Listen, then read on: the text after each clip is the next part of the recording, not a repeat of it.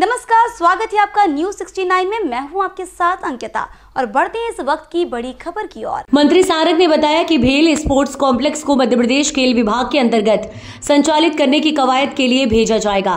प्रस्ताव लगभग पौने 200 एकड़ में बना है भेल स्पोर्ट्स कॉम्प्लेक्स। कॉम्प्लेक्स में golf athletics cricket tennis badminton का भी ग्राउंड उपलब्ध। निरीक्षण के दौरान भोपाल कलेक्टर एवं खेल विभाग के वरिष्ठ अधिकारी भी रहे मौजूद। आज हमने बीएचएल स्पोर्ट्स कॉम्प्लेक्स का दौरा किया। जल्द ही हम केंद्र सरकार से बात कर हैवी इंडस्ट्री मिनिस्ट्री से बात करके भेल sports complex sports department Madhya Pradesh के अंतर्गत आ जाए। उसका प्रपोजल हम भेज रहे हैं।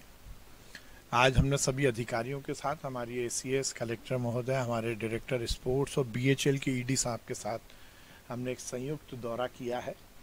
ये भोपाल के लिए और मध्य प्रदेश के लिए बड़ी बड़ी सौगात होगी। लगभग पौने 200 एकड़ ज़मीन पर ये खेल परिसर बना हुआ है। और अभी क्योंकि मेंटेन नहीं है, इसमें गोल्फ का करीब 33 एकड़ का स्थान है क्रिकेट का फुल फ्लेजेड स्टेडियम है। बाकी सभी फैसिलिटी हैं लॉन टेनिस है बैडमिंटन है बास्केटबॉल है वॉलीबॉल है। पौने 200 एकड़ काफ़ी जगह में है। शहर के बीच में ये एक बड़ा परिसर है।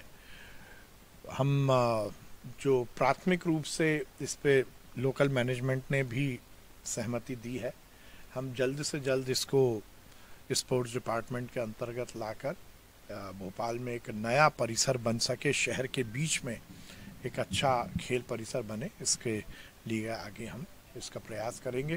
क्रिकेट स्टेडियम की भी जो बात भोपाल में हो रही थी, वो भी फुलफिल होगा। क्योंकि अभी स्टेडियम में एरिया तो है, स्टैंड वगैरह उसको इंटरनेशनल लेवल पे जो बनाने होंगे, उस पर पूरा काम करेंगे। इस खबर पर आपकी क्या है राय, हमें कमेंट सेक्शन में ज़रूर बताएँ। तब तक के लिए धन्यवाद।